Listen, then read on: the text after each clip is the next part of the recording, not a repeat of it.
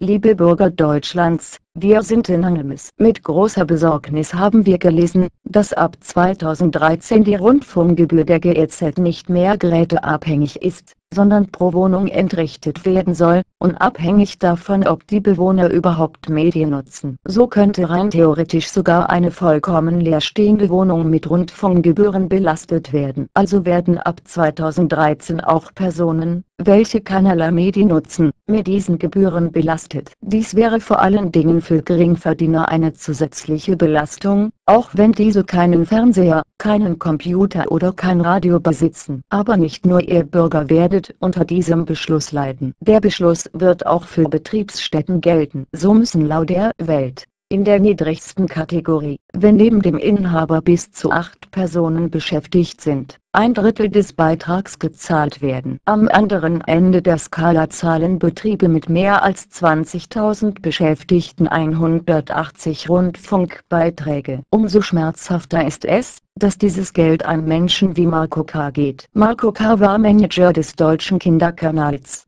Kika. Der Kika zählt ebenfalls zu den öffentlich-rechtlichen Sendern, federführend ist der Mitteldeutsche Rundfunk, kurz MDR, welcher ebenfalls aus GEZ-Rundfunkgebühren bezuschusst wird. Marco K. war Manager vom Kinderkanal und hat mit Scheinrechnungen und fingierten Aufträgen den Kanal um Millionen geprellt um seine Spielsucht zu finanzieren. Also sind die von der GEZ erstatteten Rundfunkgebühren direkt in die deutschen Casinos investiert worden. Marco K. wurde daraufhin zu fünf Jahren und drei Monaten Haft verurteilt. Der Prozess brachte allerdings auch an anderen Stellen Licht ins Dunkel Dunkel. So wurde dem MDR eine erhebliche Mitschuld vorgeworfen, da ein internes Kontrollsystem so gut wie gar nicht existent war. Der MDR geht seit 2002 von einem Schaden von 8,2 Millionen Euro aus. Klar ist dabei, dass das meiste wohl aus GEZ-Rundfunkgebühren stammte. Nicht nur diese